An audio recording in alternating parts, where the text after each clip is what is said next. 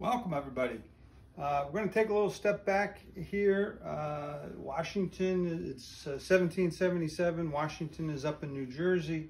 Uh, and I just wanted to cover one little battle that was pretty insignificant, but uh, it did uh, set the tone for some, some future events. So after the British left Boston um, in, in March of 1776, uh, General Washington sent General Lee, his second in command, down south because that was another going to happen kind of place. So uh, the British, in this fascination with trying to win the South and divide the North, uh, they sent um, some troops about 3,000 troops to be specific, and a fleet of about 20 ships under uh, General Clinton was the Army general, and uh, Admiral um, uh, Parker was the um, guy in charge of the fleet. And so Clinton, uh, just as a little background, Clinton made in Boston, he made a recommendation to Howe on how to win Boston and Howe just blew him off, said go away. So Clinton was feeling kind of bad. So, and he gets sent down to the South. Now, they were invited down to the South.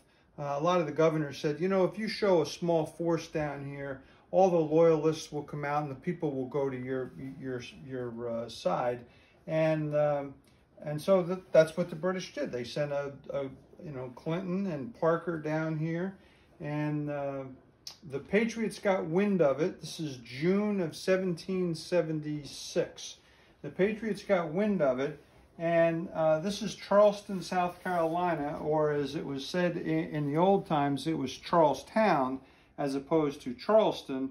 Uh, somewhere along the line, they dropped the W. And so this is the main town right here. On one side, you have the Cooper River. On the other side, you have the Ashley River. And then you have a body of water that comes down here. You have Sullivan Island is here, and this is Long Island.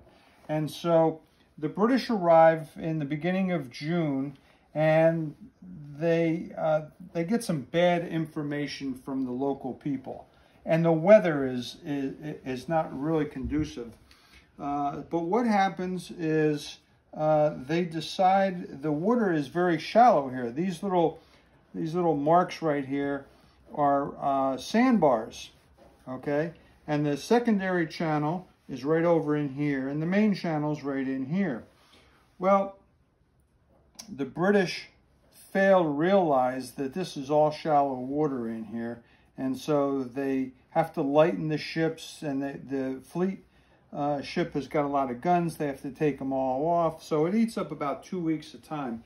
In the meantime, General Clinton takes about 2,700 troops, and there's a fort right here. I forgot to mention, there's a fort right here that the Patriots have, have built. It's called Fort Sullivan, later changed to Fort Moultrie. Uh, and uh, it's basically nothing but piles of sand and palmetto trees, which is the state tree of South Carolina, it's the palmetto tree. Uh, but it's a soft wood and, and kind of absorbs stuff, and that, that will have an impact. So Clinton says, I'm going to go up here and I'm going to jump off on Long Island, cross over, and then I'm going to come down this way. And this little fort up here that's not manned very well, a couple hundred guys in it, won't be a big deal. So he, he lands up here on Long Island. Well, this little spit of land or water right in here, he was told was going to be 18 inches, so he could just walk across it. It ends up being seven or eight feet because the wind's blowing the water in, the wind's, the wind's blowing this way and this way. So he's confined up here and really can't do too much. And in fact, he can't do anything because he doesn't have, have any boats. So the British, um, they, they start in the secondary channel and they have, have a serious problem. They can't do that. So then they try to go into primary channel, that's still very shallow and a lot of the ships can't get in there. But they get some ships in there and then they're in here like this and they just, they're in a battle with Fort, uh, Fort Moultrie, okay? And three of them run aground on this sandbar. They managed to get two of them off. The cannon fire from Fort Moultrie is, uh, it's just unbelievable. The Patriots are just letting them have it. There's no place to maneuver the, these big ships in here because of all the sandbars that are in here. And so uh, Fort Moultrie and the ships just go back and forth. Two of the ships get off the sandbar and they retreat out. And so it goes on, um, on June 26th, they have this fight. And General Lee is there. He's got about 1,200 guys. There's a colonel from the uh, uh, South Carolina uh, militia by the name of Moultrie, which is, the fort was later named for him. And so there's real question as to who's in charge here. Is it General Lee, who tends not to get involved in anything, or is it this Colonel Moultrie? And some historians say Moultrie was really the guy behind it. So there's this battle going back and forth, and they're just showing each other. Uh, and it, it lasts all day long. Um, the, the the one, there, there's a couple significant things, you know, to this that we'll throw out, is that uh, the South, Carol, South Carolina flag is, is uh, kind of, this Colonel Moultrie designed his own flag the day of the battle. And it's a blue flag with a crescent moon on it, and it says Liberty in it. And this was standing above uh, on a pole, and it got shot down. One of the sergeants runs up, grabs it in this heroic thing. You see it in the movies all the time. Runs up, stands on top of the thing, plants the flag, rallies the troops because they're all kind of hiding and stuff because they're getting bombarded. And so anyway, it ends up being a standstill. The British leave because they realize they're never going to get in here, although it was reported that the town of Charleston itself was not well protected. So they leave, this is 1776, they're not going to return until 1779, three years before they return to Charleston.